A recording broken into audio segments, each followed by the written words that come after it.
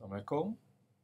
So today we're going to learn how to conducting chi-square test using SPSS software.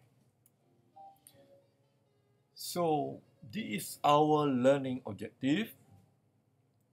First, we're going to learn what is the purpose of the chi-square test.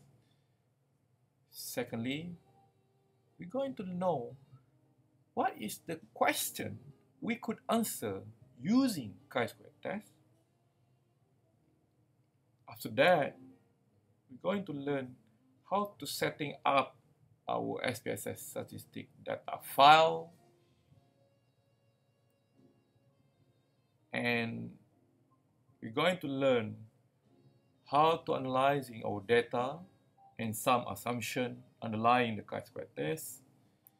And lastly, how to write our result and how to tabulate it using the APA style. So the purpose of the chi-square test, basically this test is done most commonly to assess whether two categorical variables are related.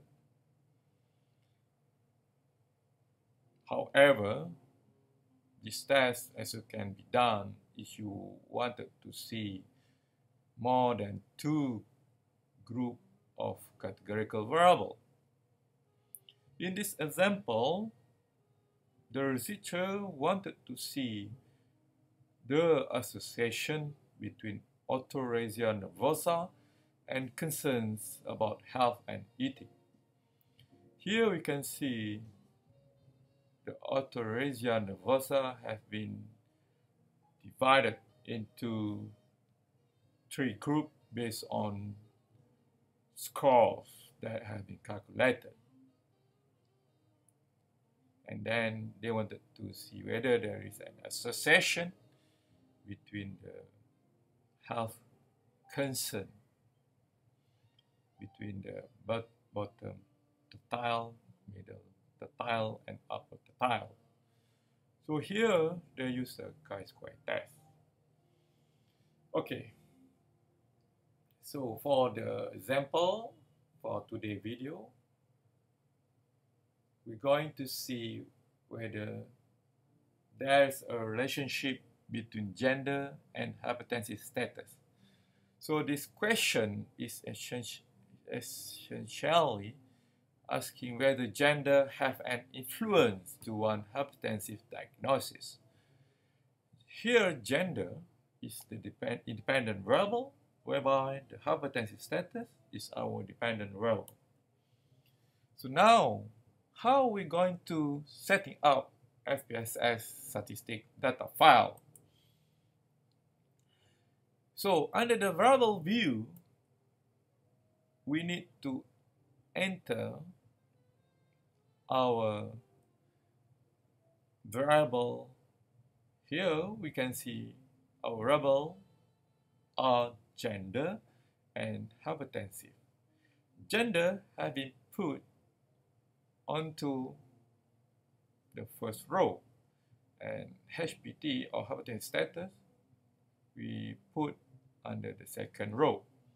Since the gender and hypertensive status are categorical variable, so therefore we need to label it under the values. So click the values for both gender and hypertensive status. Here,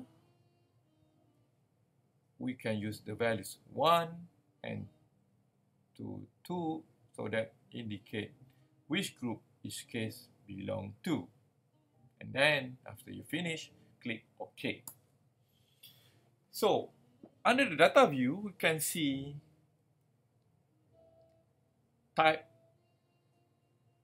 and uh, you can see your data. In the data view basically you can type in your data file. So you need to work in rows where each row represents a case. For example here Participant 1 is male and was reported as non-hypertension. So, in order for us to analyzing the chi-square, we need to consider some assumption. The first assumption, the scale, our scale of measurement, means that our independent variable and dependent variable should be either nominal or ordinal scale. For the second assumption is independence. Each participant should participate only once in the research and should not influence the participation of others. Lastly, our expected frequency or expected count in a 2 times 2 design, all expected frequencies should be at least 5. However, in a larger design, no more than 20% of the expected cell frequencies should be lower than 5. The following criteria should be met before conducting a chi-square test. Assumptions 1 and 2 are methodological and should have been addressed before and during data collection, whereby assumption 3 can be tested by using SPSS statistics. So now we're going to analyze our data. So how to analyze it? Go to analyze, click descriptive, and click cross-tab. Remember, chi-square test for dependent, sorry, chi-square test for uh, Pearson chi-square, I mean the Pearson chi-square test for measure of association is put under descriptive statistic under the cross tabs. So after clicking the cross tab, new dialog box will appear. So here, bring the your independent variable into the row. Here is gender and your dependent variable into column. Hypertension or not. So that click statistics and please tick chi-square. Then click continue and click cells. Under the cells display, please tick observe expected and expected count. And not forget to tick the row percentages. Click continue and OK. So here is the table that you obtain from the up SPSS output. Within this 2 times 2 cross tabulation metric, there are four cells. Each cell describes a particular group of cases. So under the chi-square test, you can see under the table, we can see the zero cell has expected count less than 5. The minimum expected count is 12.55. Therefore, we need to read the Pearson chi-square test. Here, the Pearson chi-square test is not statistically significant. Means that it's unlikely that we would observe that hypertension status is different between male and female participants.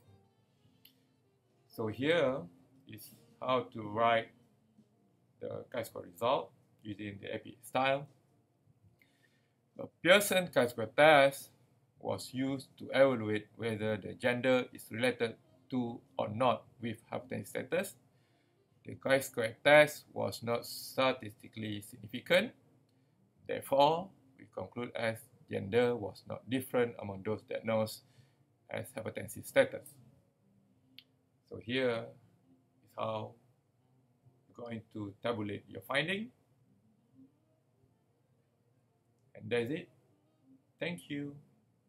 See you in the next video. Bye.